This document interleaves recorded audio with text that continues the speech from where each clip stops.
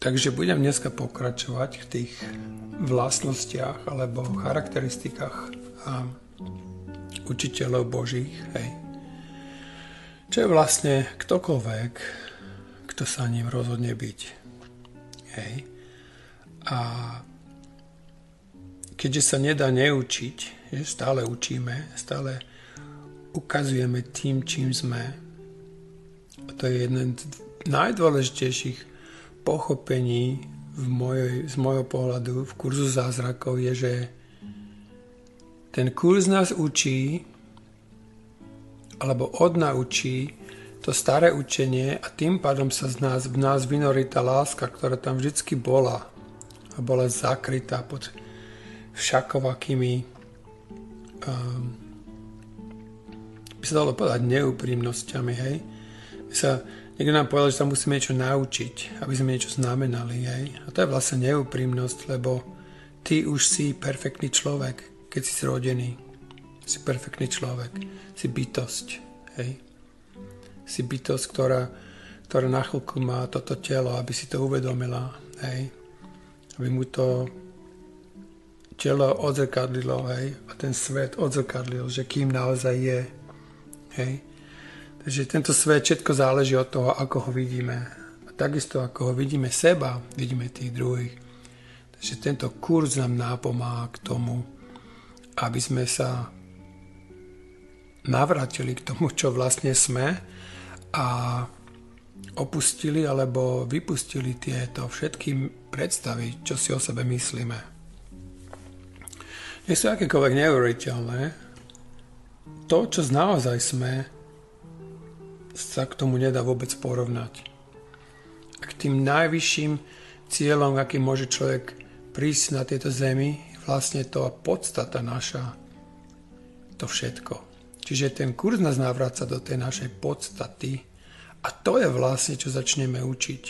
Prestaneme učiť tie veci, ktorých ľudí nerobí šťastným a začneme im ukazovať, čo nás robí šťastným. Hej? Keď sme v tom svojom jadre bytia, v tom, sen, ako to kurz volá, že syn Boží, hej, tak to je vlastne tá naša časť. Samozrejme, treba dodať, že tam neexistuje mužský a ženský rod v tom, v tom bytí, hej. To je bytie, to není ani ona, ani on, hej. To je bytie. Zahrňuje to všetko čo Boh stvoril. Hej.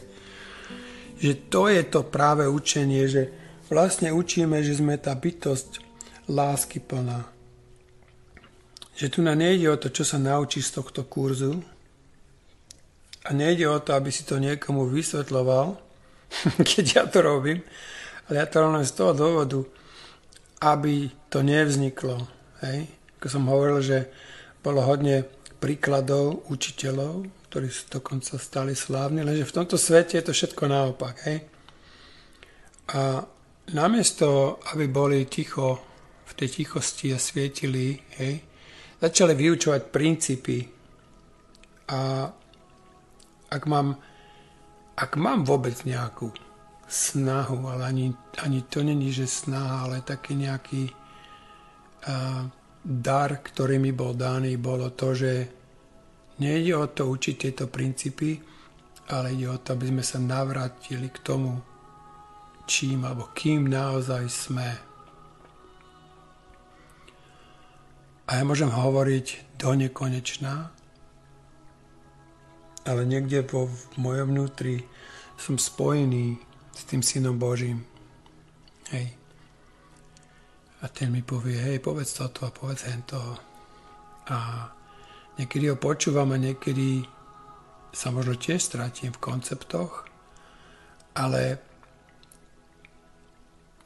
som úprimný, hej, práve o to ide, že tá úprimnosť, hej, že áno, strátim sa, áno, niekedy mám toto, alebo to, alebo áno, niekedy som chytený v svete, ale to nevadí, lebo keď dojde na lamanie chleba, to je práve krásna metafora, že na lamanie chleba, dá nám dnes, hej. náš denný chlieb a to je to práve, že to svetlo ma vyživuje najviac.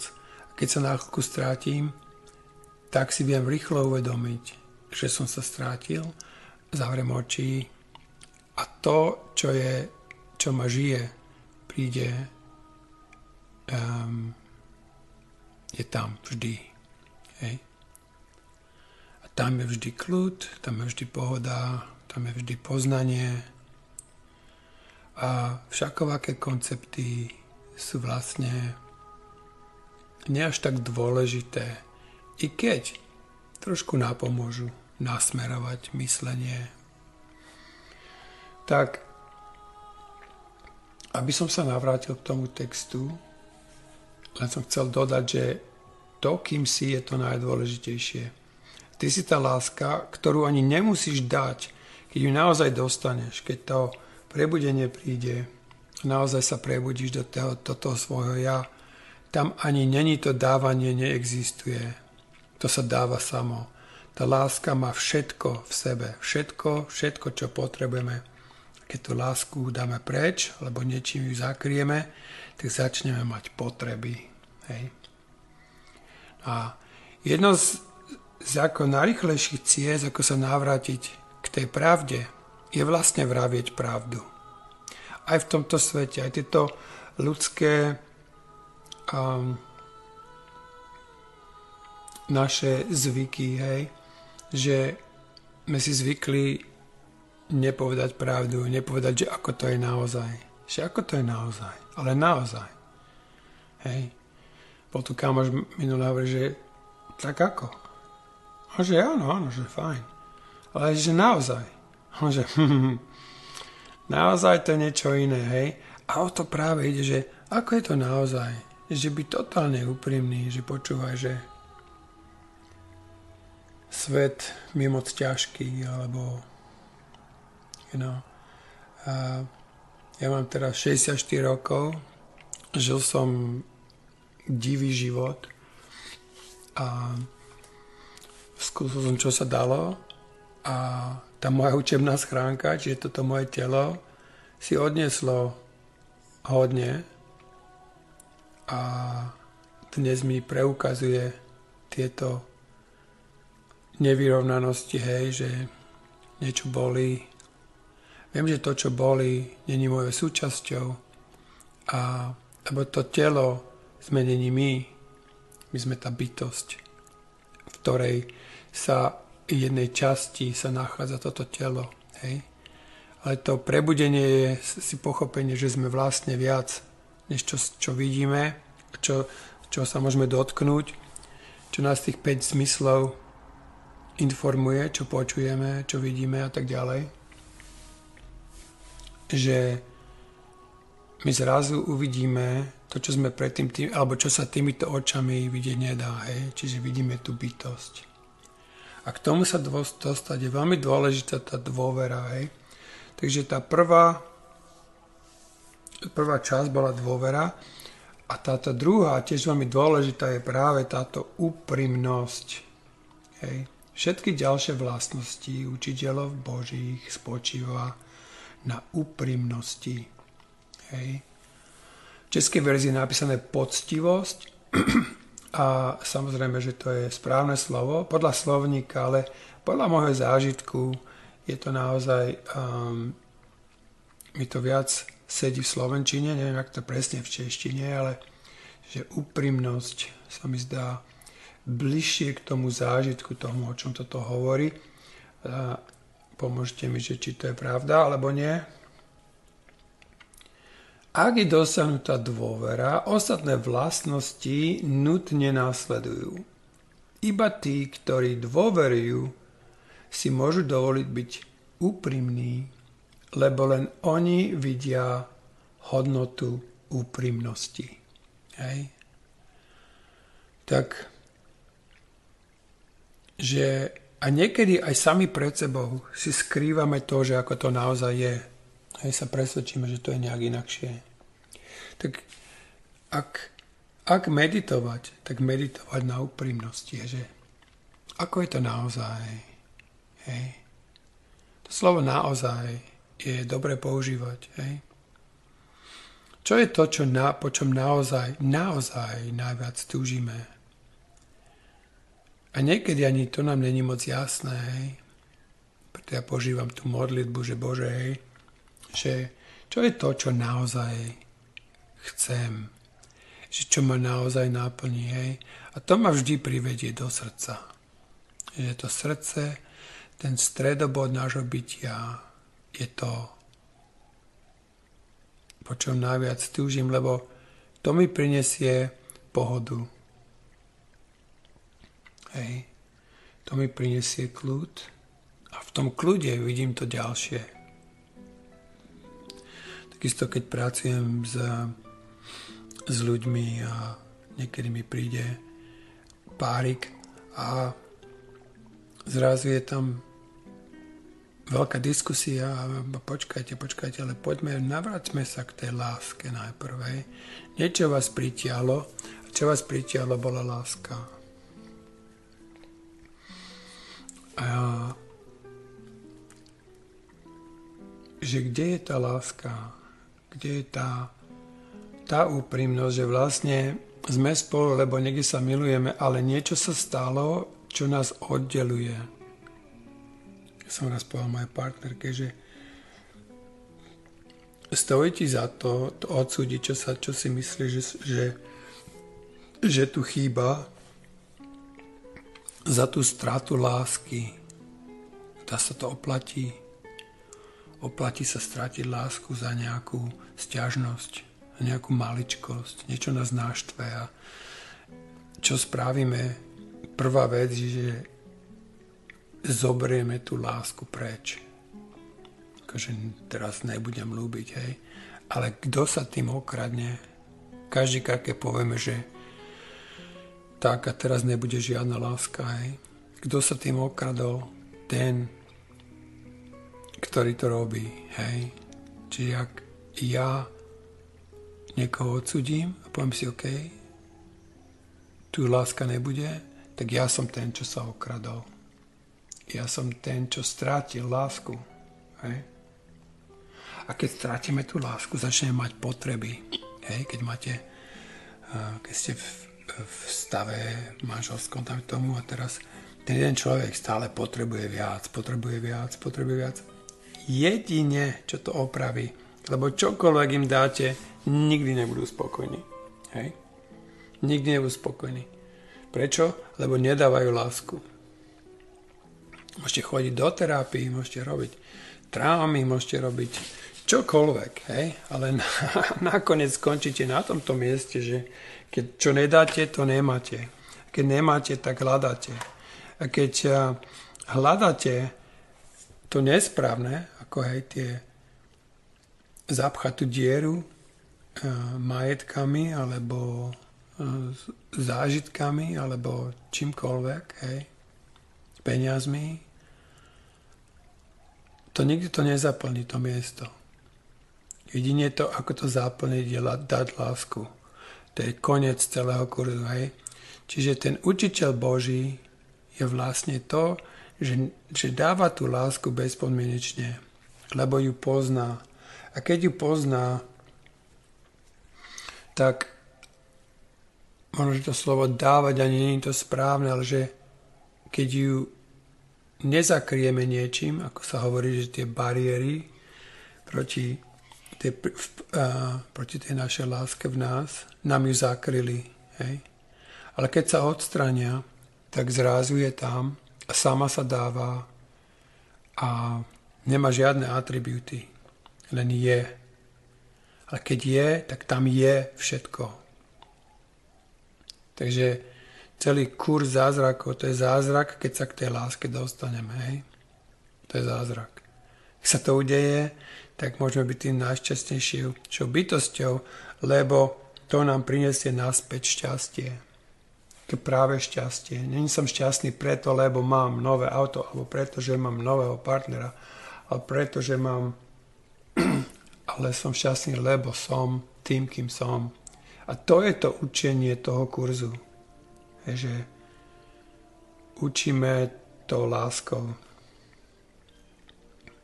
Hej.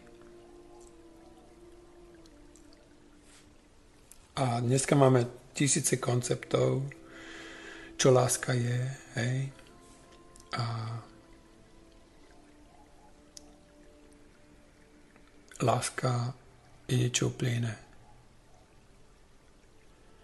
Keď, je, keď sa to môže strátiť, hej, že mám lásku a teraz už ju nemám, tak to není tá práva láska. Lebo tá práva láska je vždy. A to je práve tá, to nekonečno. Hej. Takže v tom je vlastne to učenie, že ty si tou láskou a vlastne pokračuješ krásne vo svete, robíš čokoľvek, hej. Vieš, že sa ti javí ten svet, ale vieš, že to není to číslo jedna. Že to číslo jedna je vždy tá láska a tak si v nej, cítiš ju všade, hej. Ponúknem vám také krásne cvičko, hej, že a možno som už aj ponúkol, ale možno, že tu práve práve tú epizódu ste možno nepočúvali, tak to poviem ešte raz. Hej, že pomysli si na akúkoľvek radostnú myšlienku, lebo každý máme tú radosť, nejakú inú. Hej.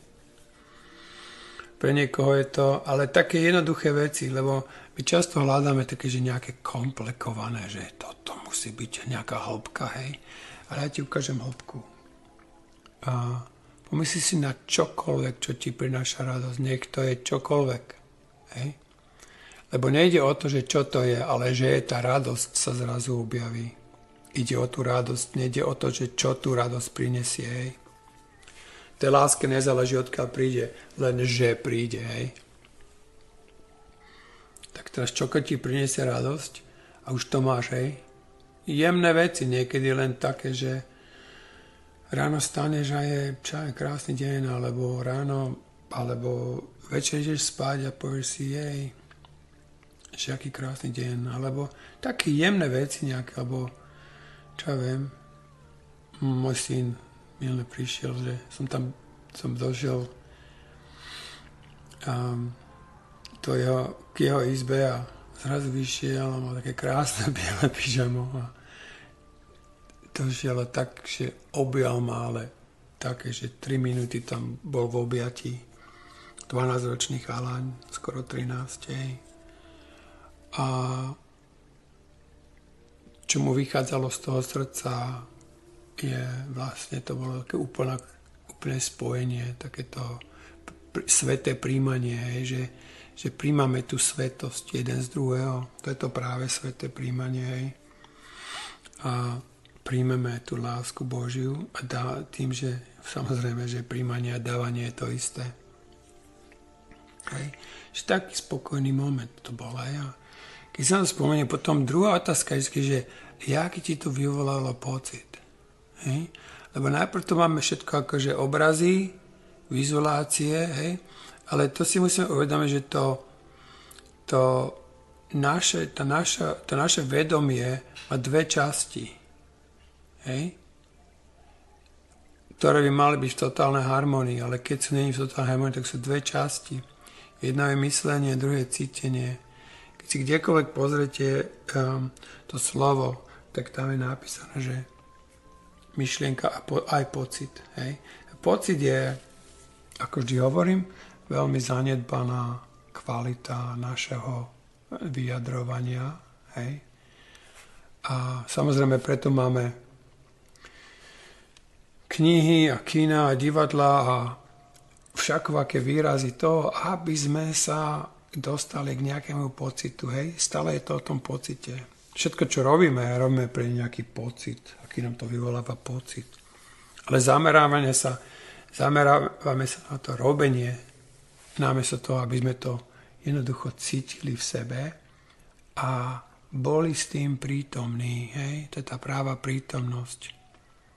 Povedal, že jedna lekcia je, že cítim vo mne lásku Božiu, hej. Není tam napísané, že myslím si lásku Božiu. Tam napísané cítim. A to cítim je veľmi dôležité v tej vete, hej.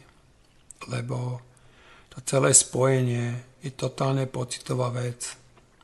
Hm? Cítiš tú lásku. A z toho cítenia ju začneš vidieť a z toho cítenia máš iné myšlienky, rozmýšľaš inakšie a je to stále tam niekde v tom pocite. A, takže toto je to celé cvičko, že spokojná myšlienka a keď ti nábehne, to sa ti tak trošku zažne v hlave. Hej, si všimni, že tak ako keby sa trošku zaplo, jemne také jemné svetelko. Hej. A to je tá myšlienka. A teraz sa to musí vyrovnať v tom pocite, hej. Že ak ti to vyvaláva pocit, to, že sa to udialo, hej. Alebo že to vidíš, alebo čo to je. Ako ma kamoš povedal, že je, že slnko. že mi strašno rado robí slnko. Zrazu sa usmial, ale tak, ako keby bol Božík, hej. Je, že slnko. A že aký to vyvoláva pocit, on, že oh, hej. A vyvolanie toho zvuku je krása, lebo ti to rozvibruje aj tú, tú schránku, ktorej sa vlastne učíme, ako tú lásku vôbec uniesť sebe. Hej niekde tam ďalej v tomto manuále bude hovoriť, bude hovoriť o tom, že keď tá láska Božia príde takto v tej, v tej svojej práve vibrácii, ak sa to vôbec dá nazvať vibrácia, tak to telo, pokým není pripravené na to tými lekciami, jednoducho tú lásku neunesie a, a, tá láska není to fyzično. Hej, ale sa v ňom môže odrážať na chvíľu. Takže to, takže budem pokračovať tej úprimnosti a tu je tiež taký dôležitý bod, že úprimnosť sa nevzťahuje len na to, čo hovoríš. Tento výraz vlastne znamená konsistentnosť. To som si pozrel v slovníku slovo konsistentnosť a prišlo mi, že by som skôr povedal, že dôslednosť, je, že to je ako si dôsledné, alebo zhodnosť, alebo zhoda. Hej? Že sme dôslední v tom, čo cítime a čo hovoríme. Hej? Koľkokrát sa povie, že nejaký máme pocit, ale povieme niečo iné. A to je práve to, že tým sa okradneme o tú pravdu. Niekde sa povedalo, že povedz pravdu a pravda ťa vyslobodí.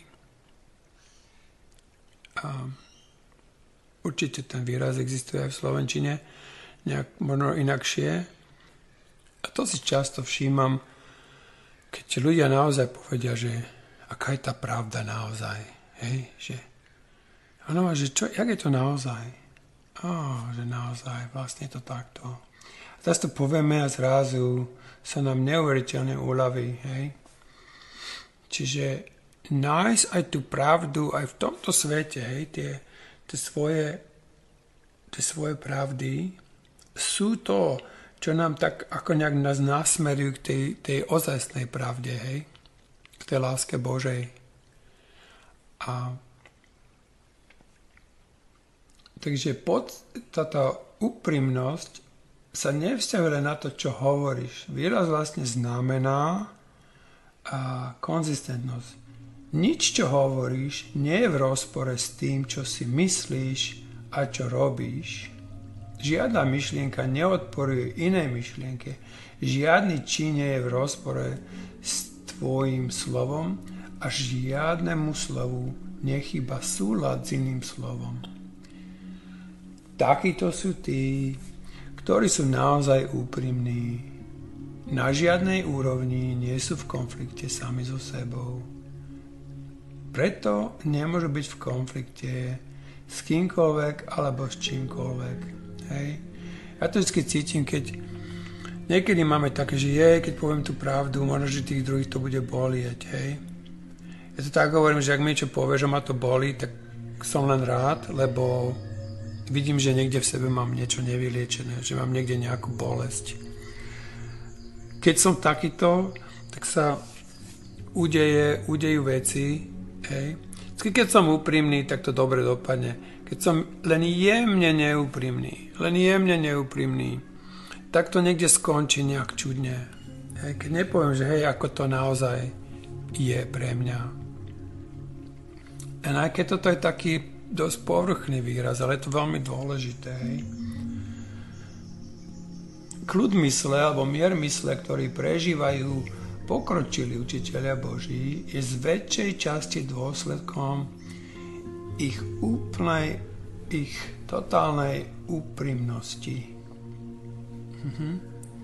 Čiže k, voj, k vojne vedie iba prianie klamať. Nikto, kto je jedno sám so sebou, keď sme sám vo svojej pravde, nemôže konflikt ani pochopiť. Jednoducho konflikt v tom neexistuje.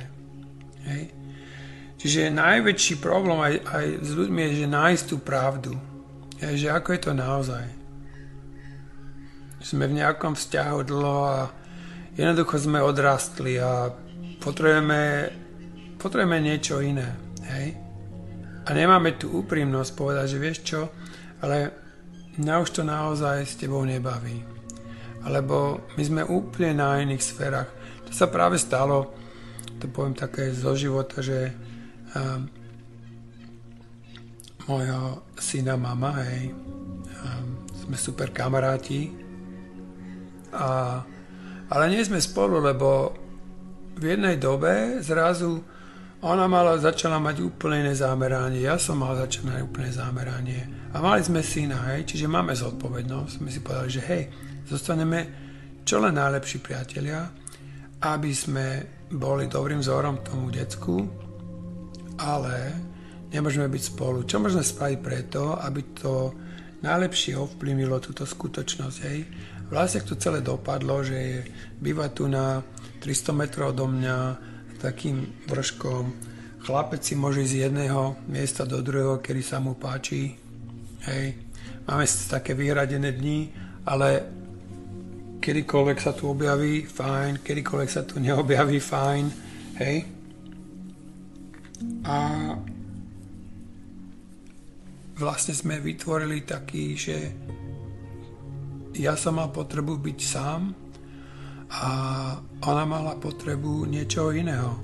A tak som si povedal, pozri sa, nemôžem, nemôžem toto potlačať, už je to takto a chcem nasmerovať, chcem svoj život nasmerovať úplným smerom.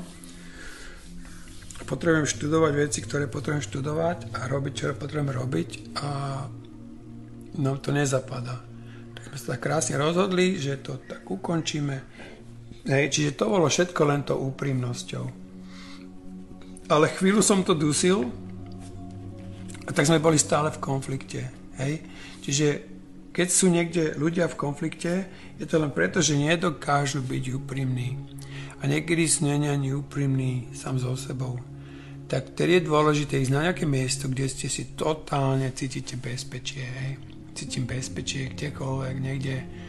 Ja som chodil kedysi tu na, na pláž a tu na tie pláže sú také, že ideš niekedy 10 km a nikoho nestretneš, hej. Lebo vlastne celé pobrežie, pobrežie je pláž, hej. A, a keď dojdeš tam, kde je vchod, tak tam je zo pár ľudí a potom ideš ďalej a tam sa to začne zmenšovať a zmenšovať. Ja som kedysi chodil kilometre a kilometre po plaži a hľadal som tu svoju úprimnosť a som ju vyjadroval, že ako by som mohol povedať úprimne, ako to chcem, ako to ja naozaj chcem tomu človeku, bez toho, aby ich to nezranilo. A čo ich zráni vlastne, není ani to, čo poviem, ale že to poviem z viny. Hej? A keď niečo hovoríme z viny, to nehovoríme z úprimnosti, hovoríme to z viny. Hej? Že tá, a tá vina je vlastne len, sú to nejaké posudky, inak aby som ozrejmil, že vina sú len, sú len posudky. Hej? Že niekde niečomu verí, že takto to nemá byť. A teraz, keď niečo robíš proti tomu, tak máš pocit viny. to je jediné, čo je. Čiže keď sa zbavíme tých súdov, tak sa zbavíme viny. Tak jednoduché, hej. Takže tá úprimnosť hej, je to číslo jedna. A čím ďalej sa tá úprimnosť oddialuje od tomu, aby bolo vyjadrená, tým viac vytvárame si konflikty v živote. Hej. Tak najprv predtým, ako vyjadrime to, čo naozaj cítime a myslíme, najlepšie sa to naučiť sám vyjadriť. Hej. Takže ísť na nejaké miesto, niekde do lesa, alebo keď si doma a nikto tam není, a náhlas vyjadrovať tú pravdu. Lebo tie, aj to svalstvo, aj ten krk, alebo tak nás to niekde dusí, že to nemôžeme vy, vyjadriť. Tak sa to učiť vyjadriť, učiť niečo povedať.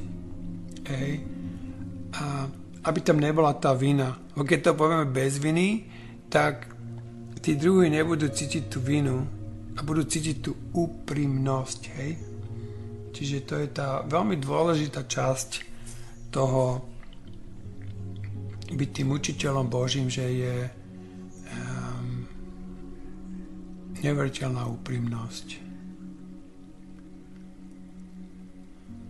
A keď máme nejaké veci, čo sa ťažko dajú povedať, tak lepšie niekedy tiež vyjadriť ten strach z toho vyjadrenia.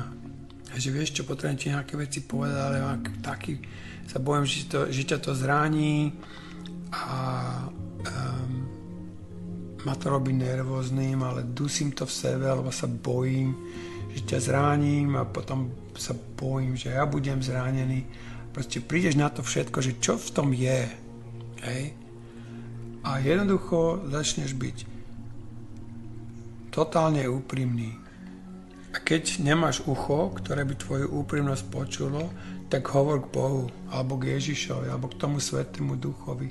A povedz to najprv im. To je vlastne tá, to správne pochopenie tej spovede. Tá spoveď bola vlastne super vec, lebo si sa vyspovedal, si vypovedal nejaké veci, ktoré v sebe človek dusí. Ale zase len tá vina nám niekedy povie, že keď sú nejaké princípy, že takto to nesmie byť, ako ľudia vytvorili princípy, povedali, že to Boh spravil. Že toto sú Božie že nesmieš robiť toto, nesmieš toto, nesmieš toto. Teraz keď to porušíš, porušíš, tak máš tú vinu, že si to porušil, hej. Ale problém je v tom, že si prijal to, čo niekto povedal, že sú prikázania, hej. Že v tom je ten problém. Takže vlastne aj to um, tá spoveď je vlastne super vec. Sa niekomu vyspovedáme a niekedy sa môžeme vyspovedať tomu Svetému Duchu. Nemusíme ísť vôbec k niekomu alebo do kostola nejak sa vyspovedať. Môžeme sa vyspovedať k stromu alebo psovi alebo mačke alebo papagajovi. Jednoducho tu se, zo seba dostať to, čo je v nás udusené. Hej. A momentálne, ak je to von, tak je prázdno tam. Keď tam je prázdno, tak namiesto toho, čo tam sedelo, príde svetlo. Tá láska vyplní to miesto namiesto toho, aby to bolo zaplnené to vinou, tými posudkami a vlastne tou neúprimnosťou. Hej? S tým, že sa nedokážeme vyjadriť, vyjadriť, čo je v našom jadre, a keď to odsudzujeme ako negatívne. Hej. A keď zavrieme to, tak zavrieme aj to pozitívne. To si neuvedome, lebo to uzavrieme tú lásku. Takže to je ešte taká pikoška. A teraz neviem, či som to čítal alebo nie. Starnem. A že ale poviem to ešte raz, ak som to naozaj povedal, lebo som to dvakrát nahrával, sa tu niečo udialo a nemohol som to poriadne nahrať. A, že keď prestaneš skrývať v sebe všetko, hej, nie, že vôjdeš do tej do toho svetého príjmania, ale pochopíš naozajstný mier a naozajstný radosť. Naozajstnú radosť. Hej, lebo keď máme niečo v sebe, čo sme tomu druhému nevyjadrili, tak čo robíme? Skrývame to. A keď niečo skrývame, tak si dávame super pozor, aby to nikto nenašiel, čiže sa bránime to, hej, ochraňujeme to, ale to bránenie sa je tiež formou útoku. Hej? Lebo vlastne um,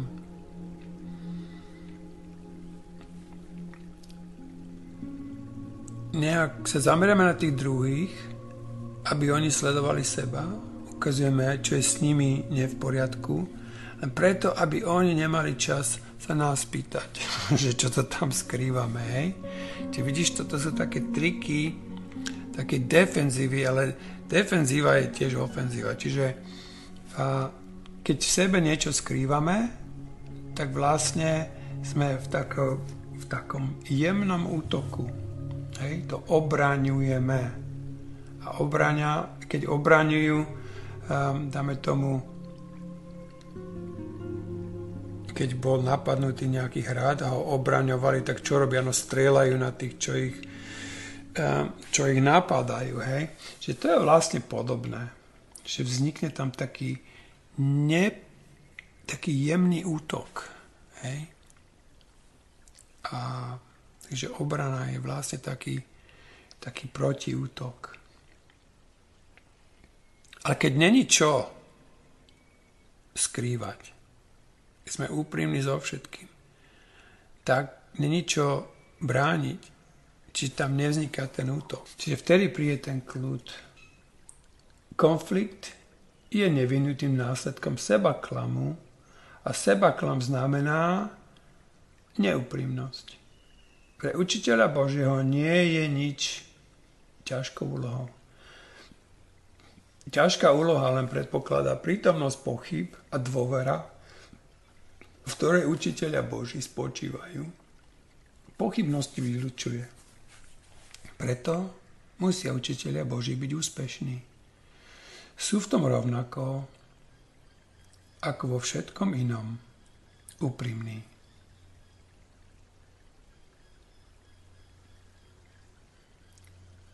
Môže sa im jedine dariť, lebo nikdy nevykonávajú svoju volu sami.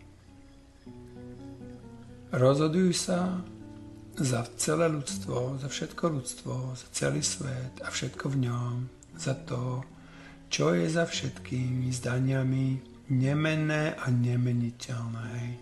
Čiže to je tá láska. A za Božího Syna a jeho stvoriteľa. Ako by mohli neúspieť, rozhodujú sa v úplnej úprimnosti a sú si svojou voľbou istí, rovnako ako sú si istí sami sebou. Ha, tak to vyzerá tak, že mi nejak dlhšie trvajú každá z týchto a, vlastností učiteľov Božích. Takže som sa trošku rozhovoril. Sú to síce len dva odstavce, ale nikam sa neponáhlame. A je ich 9. Takže to budem volať, že 4 Ačko, Bčko, Cčko, Dčko a tak ďalej. Uvidíme, ak mi to vyjde. A ďakujem za výpočuv a do skorého.